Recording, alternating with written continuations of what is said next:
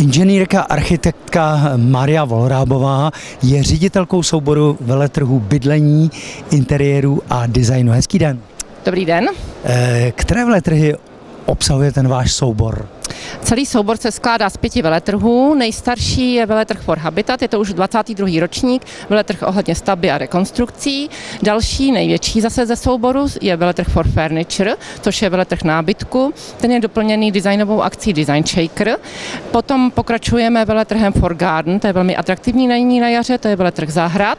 A poslední je for Office, který se týká kancelářského nábytku. A samozřejmě je také potřeba, aby si lidé koupili nějaké bydlení nebo zařídili eh, a parcelit, a to je veletrh bydlení, nové možnosti.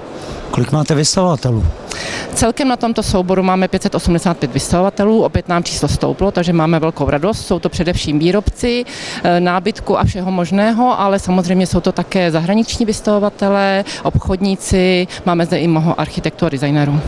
Paní ředitelko, každý rok máte nějaké novinky. Jaké letos?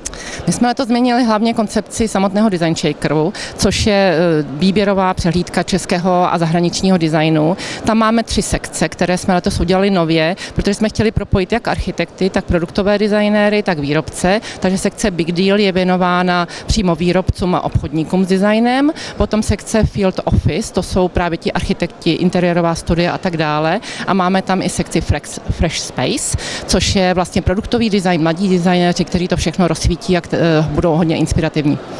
Vaše veletrhy mají bohaté doprovodné programy. Určitě je potřeba nejen přivést firmy, ale také eh, lidi vzdělávat a představit jim něco. Každoročně pořádá, pořádáme konferenci Design Shaker, tentokrát to děláme s asociací eh, nábytkářů. Potom máme zde připravené místnosti, což se jmenuje scény, inspirace a trendy. Jsou tady vlastně čtyři styly, které jsou inspirativní pro rok 2015.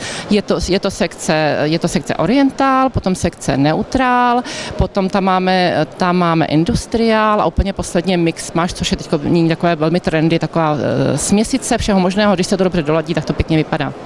No, když tomu všemu přičtu nově otevřený kongresový sál, tak si myslím, že opravdu máte vystavovatelům i návštěvníkům co nabídnout. My to vidíme i na našich veletrzích, že každý rok jsou o někud, poněkud větší, přijde více vystavovatelů, přijde více návštěvníků. Myslím si, že na veletržním areálu je vidět, že se opravdu hodně rozvíjí, takže pro nás je to výzva i, aby my jsme lépe pracovali. tak přeji, se daří a děkuji za rozhovor. Děkuji pěkně.